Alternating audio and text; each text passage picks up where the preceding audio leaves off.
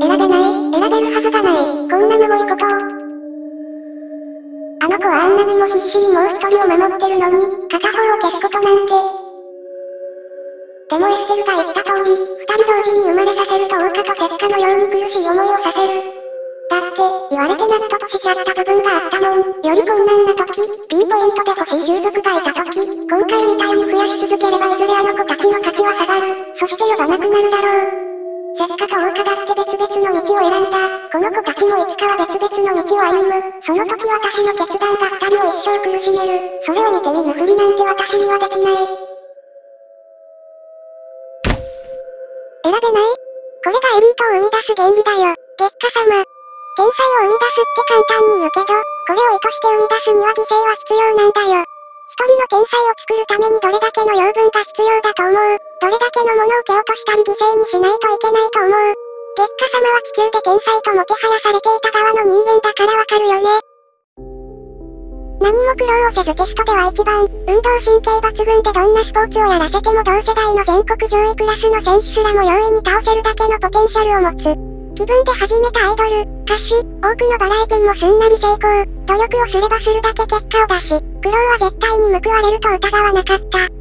考えたことある。あなたが当たり前のように頂点に立つとき、そこには必ず敗者がいる。生まれてから死に物狂いで努力した人、人生をかけた人、そんな人たちの物語を全て壊してあなたは頂点に立っていたの。学校でもそう、小さな世界だけど一番を取るということは2番以下の子たち全員の屍の上に立っているの。一番という一つしかない椅子にあなたは苦労も悩むこともせずに得られてたの。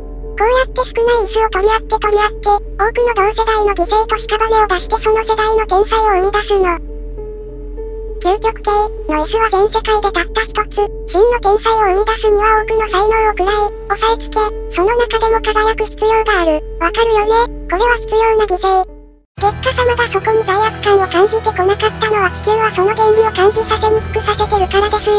実際犠牲と言っても死ぬわけじゃない。目に見えて不幸になるわけじゃない。ほら、月下様が今まで何食わぬ顔でやってきたことです。自分の幸せのために多くの人の夢や目標を奪ってきた。今回も同じです。違いがあるとすれば間接的ではなく、実際にあなたが選んで奪うだけです。ですが当初通り、決断しないのも選択、二人を生み出すのも選択、ですがそんな半端な選択で目の前の脅威に勝てますかね究極系も持たない二人を出したところでノルンを倒せますかね考えていいですよ。ですが時間がないのは月下様自身理解しているでしょう。本気で専属心を勝ち取りたいならここで本気にならないとまた負けますよ。本気、人の不幸の上で成り立つ成功が。いや、あるよ、当然だよ。綺麗事に逃げようとするな。甘えを捨てないとダメなんだ。そっか、メリアちゃんはいつもこんな苦しい選択を選んできてたんだね。市場を挟めば挟むほど苦しい。だから厳しくなる。分かっていた気でいた。正義で居続けるのがどれだけ居心地いいか。悪なければいけない覚悟がどれだけ重いか。嫌われる覚悟、恨まれ、疎まれる覚悟。私にはそれが圧倒的に足りなかったんだね。だからメリアちゃんは私にだけ厳しいんだ。私はパトの頭脳だから、頭脳はパトに直接関与できる一ゆえに専属心の中でも冷静であり、強い心を持たなければならないんだ。だからずっとメリアちゃんは私だけずっと他の子に比べて厳しい試練を与え続けたんだ。私は甘い、大事な場面では結局自分が可愛い、だから欲しいに走る、嫌われたくないから曖昧なことしか言わない、メリアちゃんはずっとそんな私が気に入らなかったんだ。嫌になるな。頭で分かっても結果を出せない。結局私はメリアちゃんに挑む以前の問題だったんだね。そりゃあ妥協って言われちゃうよ。だっていつまで経っても甘いんだもん。私。ごめんね。どの選択をしてもきっと私は君たちを不幸にさせちゃう。ごめんね。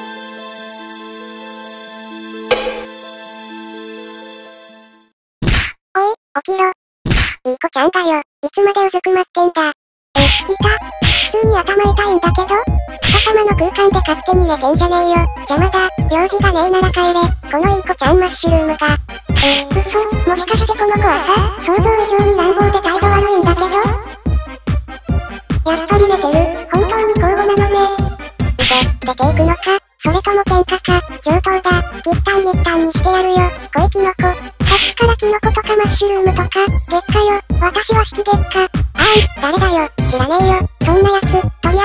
えずキノコ狩りだ。ここに来たこと後悔させてやるぜ。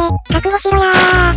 おら、とか、いいパンチしやがって。くそ、めてんじゃねえぞ。クソだ、クソだー。やっぱ、この子口と態度が悪い割に喧嘩すごく弱いんだけど。へ、へへ、やるじゃねえか。今度から姉子って呼んでやるぜ。いや、勘弁して。ち、つえならつえって最初から言えよ。恥かいちまったじゃねえかよ。あのさ、君は朝だよね。夜から一応名前は紹介されてたんだけど。ああ、朝だ。希望の究極系だ。夜からなんか聞いたか。えっと互いに互いのことは知らないとか。でもずっと一緒にいたいとか。言ってたよ。いつも、話したこともねえやつからそんなこと言われても嬉しくないっつうの。なら愛してるから聞かされてんだろ。俺とこいつの関係について。俺とこいつ、どっちかが食らわねえと生命体として完成しねえんだ。知ってる？私は今君か夜か、どっちを選ぶか選択肢を与えられてるの。それはいいご身分な話だな。朝はどうしたい?私は夜の意見しか聞いてないから朝の意見も聞きたい。どうもしねえよ。残った方が、ハートの名を継ぐ、偉大なる姉様たちの六女として生まれるだけだ。それで夜が消えてもいいの？お前らがそれを望んでんだろ？偽善者分なよ。理解してるさ。所詮俺たちはエステルや主の駒でしかねえんだ。生まれるならそれなりの覚悟はできてる。俺とこいつの命運は今姉子が握ってんだろ。なら俺に聞いて罪をなすりつけようとすんじゃねえよ。お前の意志でお前のエゴで俺たちの命運を好き勝手にいじれよ。あなたはあっさりしてるのね。怖くないの。自分が選ばれないことに。怖がって状況は良くなんのかよ。どうせ俺に選択権はねえのによ。強い子、普通なら自分を選んでほしいって懇願するような場面なのに。夜は朝と共に行きたいと懇願していた。だけど朝にはこだわりがない。いやですか、自分が懇願しないことで平等に権利を与えているんだ。少しでも自分が有利にならないように。ねえ、もし私が朝を選びたいって言ったら聞いてくれる。ああ、それが姉子の望みならな。じゃあもし、二人同時に選びたいって言ったらどうする力は失ってさえある道が閉ざされる形になるけど。それも別に俺が選ぶことじゃない。姉子がそうしたいならそうするといいさ。本当に全部私に委ねていいの？あなたを不幸にするかもしれないんだよ。さっきから聞いてたらなんだお前、何様だ？不幸、幸せ、そんなもんお前が勝手に決めるもんじゃねえだろ。お前の身勝手な尺度で他人の幸福を推し量ってんじゃねえよ。お前にとっての幸せが何かは知らねえよ。話したこともない夜ってやつと一緒に生まれることが幸せか。夜を食らって俺だけが生まれる人生が幸せか。どう思ってんのかまではな。私は、不自由なく、自分の思い描く人生を生きていてほしい。それだけで、それが過保護なエゴだって言ってんだよ。なんで不自由が不幸だって決めつけんだよ。自由の中から選択肢を選べない奴だっている。不自由に道を定めてくれた方がいい奴だっている。ならお前はそいつが幸せでも不幸だっていうのか言ってやる。それは侮辱だ。お前が不幸だと蔑んだ奴ら全員のな。そいつらはそいつらで希望を持って生きてるはずだ。他人には理解できねえ些細な幸せを噛み締めて生きてるはずだろうが。姉子の脳裏に何が浮かんでるかまでは知らねえよ。だがもしそいつらと俺たちを照らし合わせて不幸になるっていうなら、お前は俺たちと照らし合わせた奴をすごく見下してるってことになるな。それはない。あなたは何も知らないくせに、あの子たちが、私の妹たちが苦しんで悩んで泣いて、いたことを、じゃあ今もそいつらは不幸なのかよ。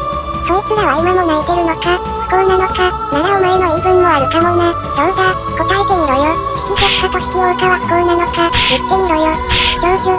お前が自分の妹を否定してどうすんだよ。なんで悪印象を抱いてんだよ。お前にはあの二人が今でも不幸に見えてたのか俺には少なくとも幸せだと思ってたけどな。夜もそう感じたからこんな話したこともない俺と行きたいって懇願したんじゃねえのか。俺たちは式月下の感情や経験、思い出から成長してたからな。実はお前のこと誰よりもよく知ってんだよ。俺も引き石化と引き狼に憧れてる。いいぜ。俺は二人で生まれても必ず希望を持って生きてやるよ。究極系の肩書きがなくたって俺は俺だ。何よ。結局あなたも夜と一緒に行きたいんじゃない？はっきり言いなさいよ。ありがとう。石化と王家を幸せだって言ってくれて、私はいつまでも甘いお姉ちゃんだったから。わかったよ。私は決めた。二人同時に生み出す、どんな絶叫だって乗り越えてやるわ。あの二人がしたように私のですね。それが一番不作であると自覚してもなお、結局綺麗だけど最も残酷な道に二人を送り歩ませる、私にはできないことです。いいのよ、過保護になる気持ちはわかるけどね。現実でもいるじゃない？子供のためだからといって勉強させていい大学に入って大企業で就職し、出世して安泰な人生を送らせる。って願望を持つ親。でもその理屈が世間でもなかなかうまくいった試しがないのはなんでだろうって思わない完璧な理屈ならその教育の子供たちは全員幸せじゃないといけないはずじゃないでもそうじゃないそれは親の望む幸せと子供がある程度大きくなった時に望む幸せが違うから、歩みたい道が違うから不幸な子供が生まれる。そもそも社会なんて勉強だけできたって意味ないしね。知識を振りまいて成功できるのはせいぜい異世界転生の創作物ぐらいよ。私は子供が歩みたいといった道をしっかり見届ける。無責任というのならそれも結構。それで失敗するも人生。成功するも人生。親だっていつまでも子供の面倒を見られるわけじゃないのだから、いつかどこかで離れないといけない。必ず子供自身に道を決めさせる時が来る。その時に道を決め続けてきた親がいなかったら誰が子供の道を決めるの？子供はずっと迷子だよ。それこそ一番の無責任だと私は思う。私のわがままから始まった話なのは理解してる。だけどこの子たちの生き方までを通す気はない。二人で一体なら活かせる。そして私も試練に勝つ。これが私の残酷で無慈悲な回答だよ。さすが、内心正解かどうかもわからなくて今でも悩んで怯えてるのに、よくもそんなにはっきりと言えるね。怖いわよ。他人の人生を決めるなんて今でも手が震えてる。多分今後ずっと脳裏に浮かぶかもね。だから私は賭けに出る。この二人の才能を壊して生まれる。なら同じ壊すという意味ならこの方法でも成り立つってね。そしてあなた言ったわよね。この世界の権限は私の方が上だって。え、何をする気？ダメだよ。知識もないのに勝手に。と夜の才能を交換、適合無視で入れ替えろ。これでいいでしょ？二人を私に。え、希望のポテンシャルに絶望の才能が入って、絶望のポテンシャルに希望？それってどうなるの？成り立つの私の想像していた以上に壊しちゃったよ。あー、せっかく丹精込めて作ったのに、月下様のせいでお釈迦にされちゃった私知らないから、私のせいじゃないから家と同じ条件よ。私の大事な妹たちに憧れていたのならこれくらいの逆境を超えてみせなさい。幸せに、なんて言わない。勝手に幸せをつかみなさい。それがあの二人のお姉ちゃんである私からの教えよ。